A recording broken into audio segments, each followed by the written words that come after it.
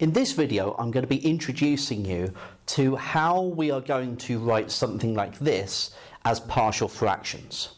Okay, so the first thing to do, uh, rather than kind of like just go, right, this is how we do it, is to explore um, what you might try first.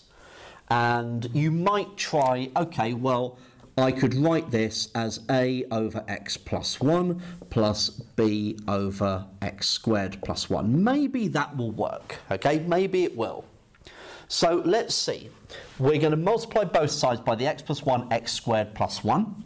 And I will be left with 5x take away 7 on the left-hand side. And we'll have a times x squared plus 1 plus b lots of x plus 1. Okay? Now, if this was the case, um, then now I, if you're used to watching my partial fractions videos, I don't use comparing coefficients as a method, as my go-to method. Um, however, in this case, it is particularly useful. Um, now, the whole idea between uh, about sorry um, comparing coefficients is saying right. Well, if the left-hand side's got to be 5x take away 7, and it's got to be the same as the right hand side. The first thing to identify is that the right hand side can't have a quadratic term. Okay? It can't have a quadratic term on the right hand side because there's no quadratic term on the left hand side. So, I know that I'm going to multiply a by x squared. Now, if that's the case, then in order to not get a quadratic term, a is going to have to be 0. Okay? So, that's telling me that a has to be 0 in order to not get that quadratic term. So if a is 0, I then have 5x take away 7 has got to be the same as b lots of x plus 1. But x plus 1 isn't a factor of 5x minus 7. There is no value of b that will make that work.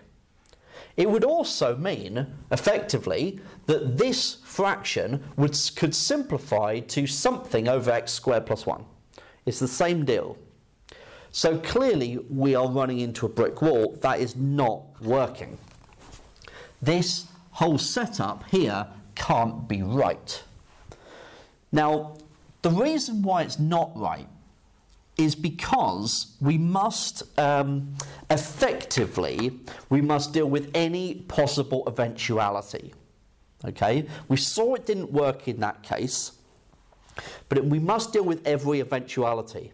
Um, and so, in order to make it work, we're going to have to have a term in the numerator that is one less in order, in power, than the denominator. Okay? So what we need is a linear term, not a constant term, a linear term for the x squared plus 1. So if I'd had a cubic term in the denominator, I would need a quadratic term in the numerator. So here I could write bx plus c, because that is a linear term. It deals with the possibility that b could be 0, right?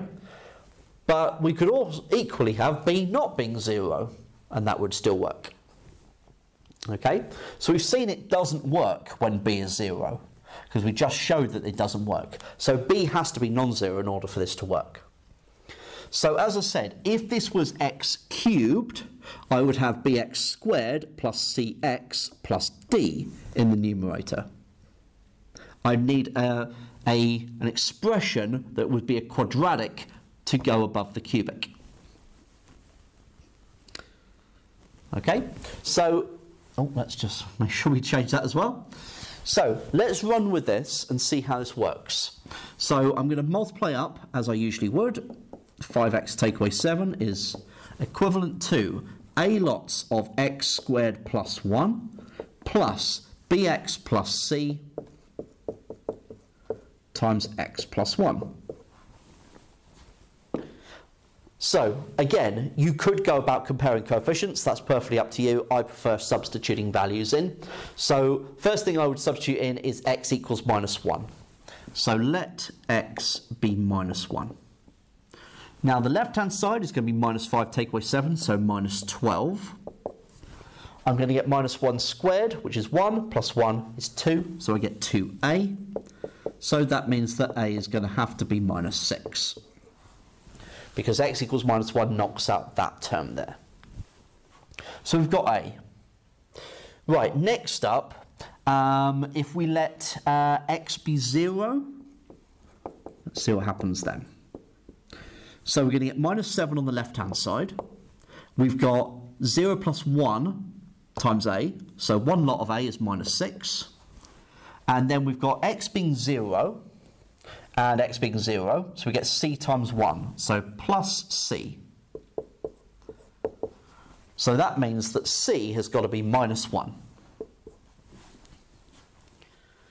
Right, there's no other obvious choices to knock out terms, so let's choose uh, x equals 1 next. So we get 5 take away 7, which is minus 2 on the left-hand side. We've got 1 plus 1, so 2 lots of a, so minus 12, plus b times 1 take away 1. So we'll have b take away 1 times by 1 plus 1, which is 2. So we have minus 2, or well, I could add 12 to both sides, couldn't I? So that gets us 10 is equal to 2b take away 2. So add the 2 to both sides, we get 12. So b has got to be equal to 6. So we now have the a, the b, and the c. So 5x take away 7 over x plus 1, x squared plus 1, will be equivalent to a over x plus 1, so minus 6 over x plus 1, plus bx, so 6x take away 1 over x squared plus 1. Okay, now if you need convincing that that has worked, um, I could do some cross multiplication here. So um, 6 minus 6, let's put the minus sign into the numerator. Minus 6 times x squared plus 1 is minus 6x squared minus 6. And I've got x plus 1 times 6x minus 1, so plus 6x squared, take away x, plus 6x, take away 1, all over x plus 1, x squared plus 1. So the 6x squareds cancel, uh, I've got 6x, uh, take away x is 5x, and I've got minus 6, take away 1, which is minus 7 over x plus 1, x squared plus 1. And so it's worked. And so this is how you deal with this quadratic term in the, in the denominator that won't factorise or is awkward to factorise. You can utilise this in order to make your life easier to split it up into partial fractions.